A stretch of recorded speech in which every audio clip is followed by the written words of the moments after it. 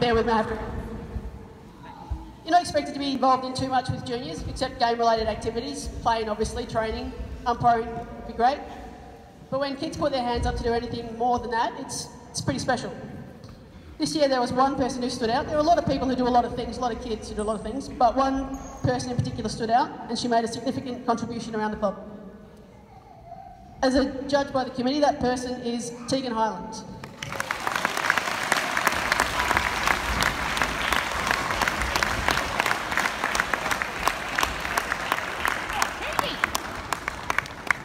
Tegen started as a hook and a hockey kid here at Casey. Uh, this year she played in the under 17 JSC championships. She umpired, she volunteered in the canteen, coached the Metro women when, when they needed one, helps out at Hook in2 Hockey at Pakenham. She's currently training with the Sorello Coaching Academy, hoping to obtain selection in the FHE team, which we in Perth in November. She played for the women's first for the entire season while also playing for and captaining under 16 girls. All this while studying year 10 at school. And I'm just going to go on a personal note here. Uh, after the grand final, the under 16 girls grand final, the captains were obviously asked to, to, to speak on behalf of their teams.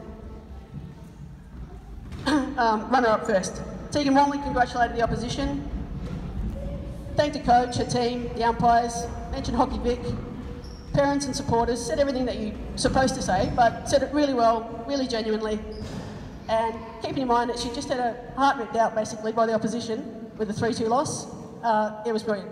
So Tegen, you're a credit to yourself, to your family and to this club.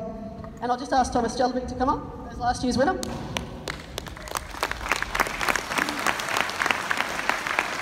To present you with 2017 Junior Club Person.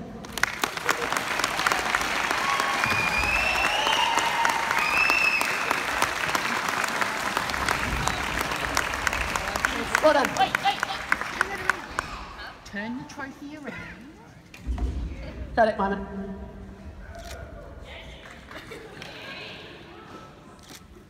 And that is it, guys. Thank you once again.